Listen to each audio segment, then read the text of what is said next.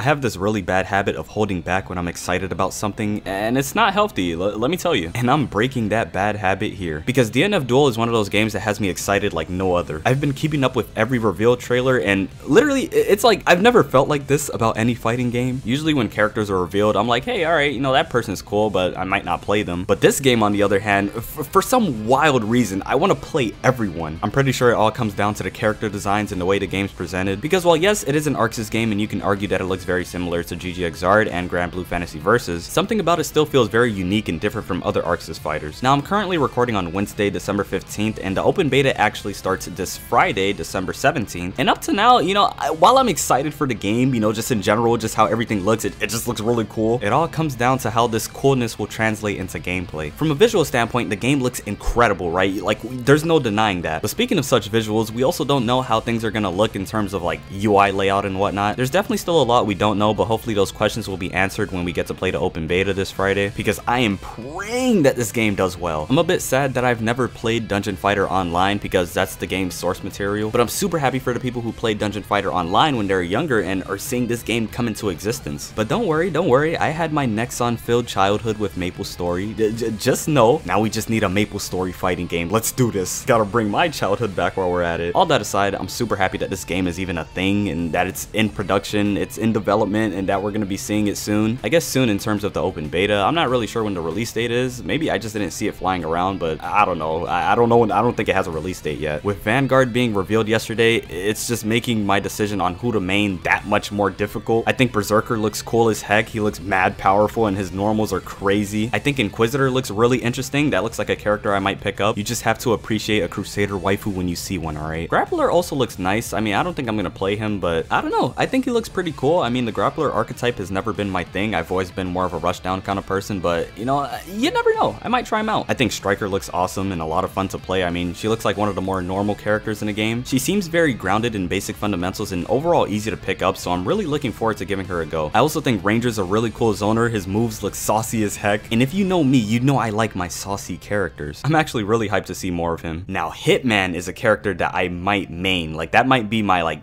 main main character, right? Everyone else might be Pocket, but let me tell you, Hitman just looks cool, and honestly, I, I think I'm, I don't know, I just think it'd be fun to play him, because if you know me in fighting games, literally all my mains are females for a variety of reasons, and if I can use Hitman to help me get out my comfort zone, then, then I will do that. What can I say? The guy just looks cool, he looks epic, I mean, his moves look pretty normal, you know, they don't look like anything too crazy, but it also does look crazy at the same time, you know? I don't know, Hitman is just sick, dude. He's looking to be my main right now. So so far. I also think Dragon Knight looks awesome. She looks amazing. Like, aside from the character design and how cool a lot of these are, I also think their move sets really capture their character well. I mean, I don't really know too much about the characters themselves in nature, but I can just tell the archetype they're shooting for is being nailed by the way the characters are played in the game. Really hoping that made sense, but it's just a feeling, you know? Everything about Dragon Knight feels right. I also think she might be a bit more technical than the other characters. I don't know if that little dragon is something that you can control or if that's just automatic, but regardless, I think she's one of the characters that has more options and maybe more things that you can experiment with. And that's really just a baseless assumption because we've never touched the game. Right now, I'm mainly talking off feeling and what I'm getting from these trailers, you get me? And of course, Vanguard was revealed yesterday and I think he also looks epic. He looks like he might have really good pokes with his spear. Like, I don't know, that range looks kind of nice. Maybe it's just me, but at some points it looks like he's just hitting from full screen. I mean, the dude is looking pretty wild. I'm not too sure of what the full roster size is going to look like or how many characters we'll be able to play in the open beta, but it seems like we have 10 characters that we can at least depend on to be in the game. Of course, at the time of recording, some of which haven't been revealed yet, but you know, uh, they're there. On the topic of open betas, I know KOF 15 also has its own second beta going on this weekend, and I just find it funny how both of these betas are landing on the same days, and it seems like my weekend is going to be filled with the King of Fighters 15 and DNF Duel, and I'm quite excited for both.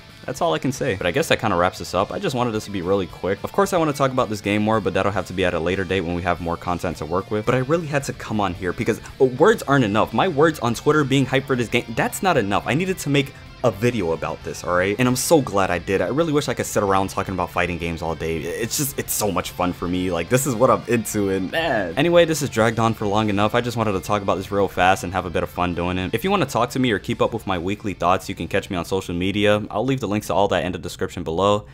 It's been Otaku Dreams, and that is all she wrote.